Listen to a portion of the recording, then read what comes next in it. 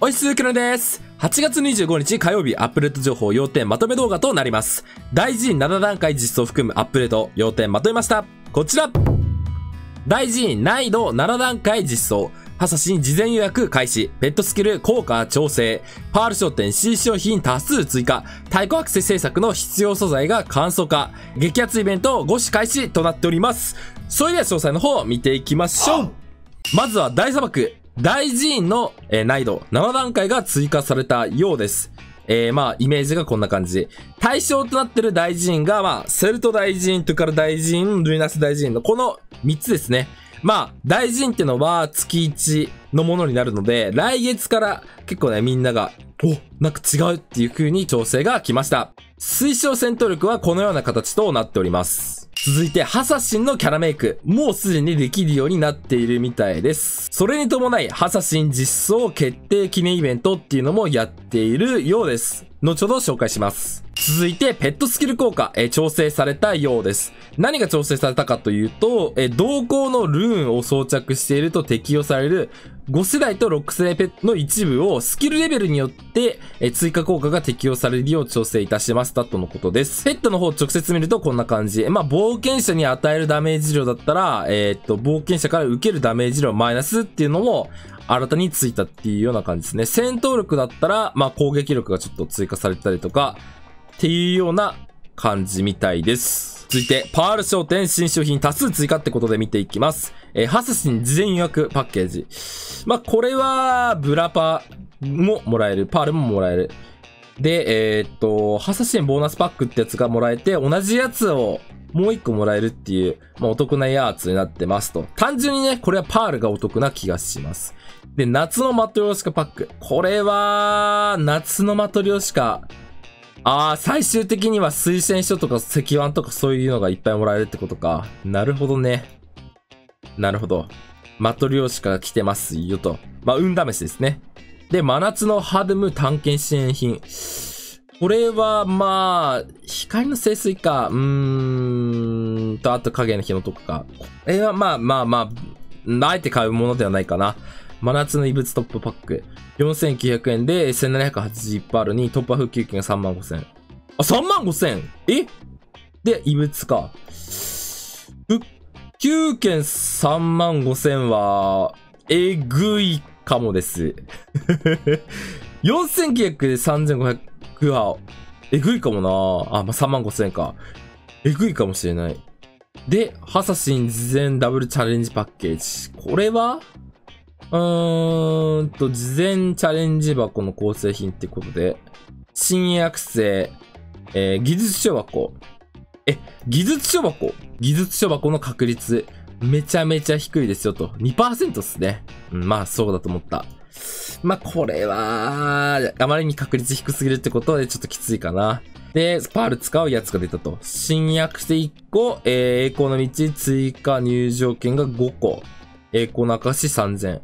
あ、これはまあいいかもしんないっすね。パールで。うん。まあ、ただ、もう8月25日ってことなんで、まあシーズン4の期間のみなんでね。うん、まあそれ考えると、まあまあまあまあまあ、まあいいっちゃいいと思います。いいっちゃいいと思う。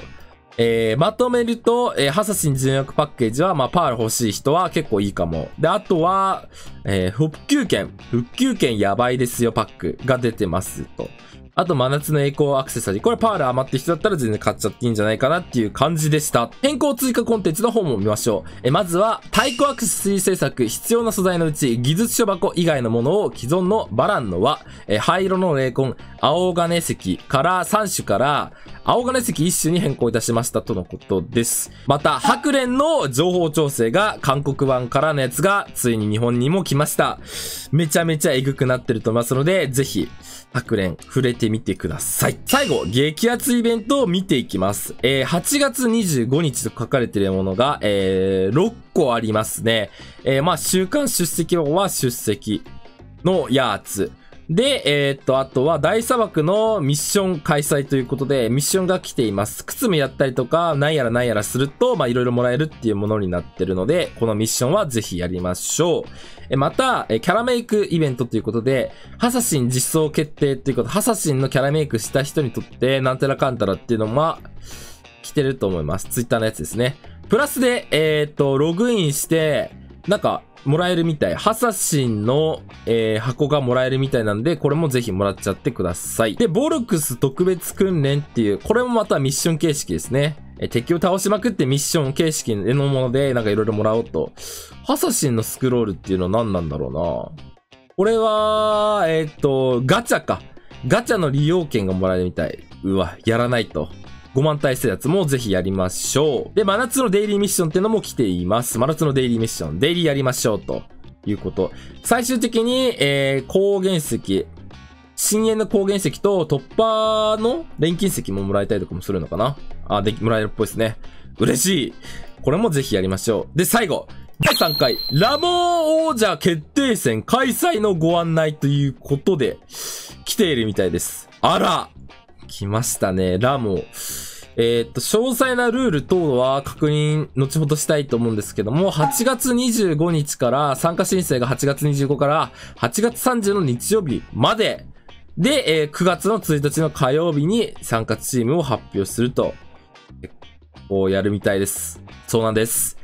温泉の生中継ゲスト、キロメンさん登場。イェイありがとうございます。ありがとうございます。ということで、この大会、ちょっと僕もゲストとして参加させていただくので、ぐいぐいいろいろね、解説等々していけたらなと思っております。ぜひ皆さん参加してみてください。えー、ディスコードの、えーサービスが利用であることとか、まあ、条件等は書いてありますので、えー興味のある方はぜひ詳細を読んでいただくと。えー、まあいろいろもらえるようになってます。ラモン王者の像から、ラモン王者の、えー、像、新人部門っていうのもあるっぽいんで、いいよな、新人部門の像どうなってんだろう。普通にちょっと気になりますね。もらいてーということで終わらせていただきます。この動画がいいなと思った方は高評価、チャンネル登録ぜひよろしくお願いします。毎日夜9時から12時 YouTube ライブの方で配信しておりますので遊びに来てください。配信の方では質問を受け付けております。お気軽にご質問ください。よろしくお願いします。